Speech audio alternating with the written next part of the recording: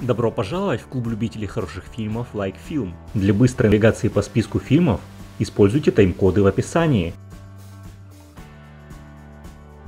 «Восточный ветер 2». Наступили летние каникулы, и Мика возвращается в Кальденбах в тревоге за своего вороного друга Оствинда. В поместье бабушки тоже не все гладко. Кальтенбах на граде банкротства, и единственный шанс спасти его от разорения – принять участие в очередном турнире.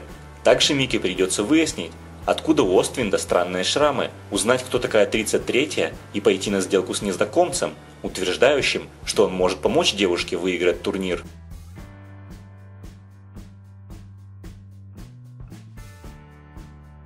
Рожденный в песках. Издавна в Аравии ходили легенды о волшебных конях, будто бы рожденных из песка, ночного неба и вольного ветра. Встретить такого коня – невероятная удача, редко выпадающая на долю смертного – они обитают в самом сердце бескрайней пустыни и избегают людей, но... Однажды маленькая Нира потерялась в безлюдной аравийской глуши.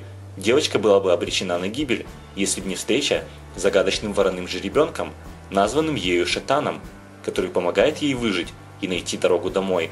Черный красавец становится самым близким другом Ниры, но сможет ли она удержать его при себе, когда вернется к отцу? Ведь если верить легендам, такие как Шатан не могут жить среди людей – их дом – вольная пустыня, их судьба – быть свободными. Фаворит.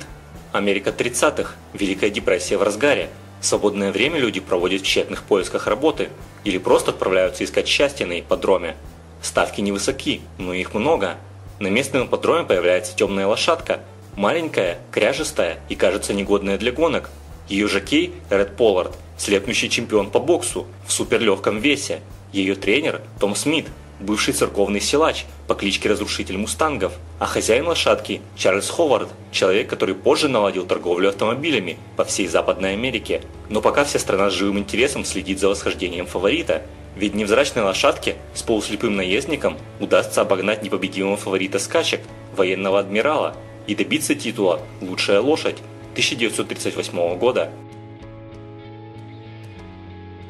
Вика Пик когда Тои принимают на работу в конюшню, в которой содержится Флика, то дочь владельца конюшни быстро находит подход к этой дикой лошади. Будучи хорошей наездницей, она надеется объездить лошадь и подготовить ее к предстоящим соревнованиям. Однако конкурирующий тренер пытается отобрать у них конюшню, и Тоби делает все возможное, чтобы спасти положение. Мустанг Осужденный преступник Роман Коулман, отбывающий срок в тюрьме Невады, вынужден участвовать в реабилитационной программе по приручению мустанга. Неожиданно для себя он привязывается к самой неукротимой лошади, которая помогает ему бороться с собственными демонами. Боевой конь 2011 года. История невероятной дружбы мальчика Альберта и коня Джоуи. Когда начинается Первая мировая, и Джоуи отправляют вместе с кавалерийским полком на поля сражений Франции, Альберт несмотря на слишком юный для военной службы возраст, все равно уходит на фронт, чтобы найти и спасти друга. Лето в феврале. Фильм расскажет про двух художников, которые не могли поделить одну женщину. События развиваются в провинциальном Корнуолле накануне Первой мировой войны. Джек. Покоритель великанов 2013 года. История начинается с похищения принцессы, что грозит нарушить хрупкий мир между людьми и великанами. Юный фермер возглавляет вылазку в царство гигантов в надежде спасти девушку.